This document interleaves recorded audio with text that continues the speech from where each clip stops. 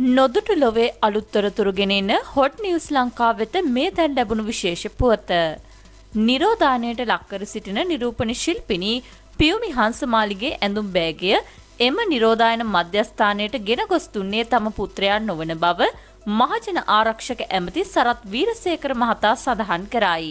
ඔහු සඳහන් කරන්නේ පියුමි හංසමාලි කියන ආකාරයට ඇයට ඇඳුම් ගෙනදී ඇත්තේ ඇයගේ නිවස අසල වෛද්‍යවරයෙකු බවයි.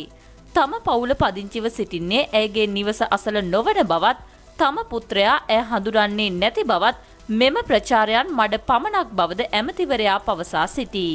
තම පුත්‍රයාගේ විවාහ මංගල්‍ය ශ්‍රැංගිලා හෝටලේදී පැවැත් වූ බවට පළවන වාර්තාද අසත්‍යයි ඔහු සඳහන් කරයි.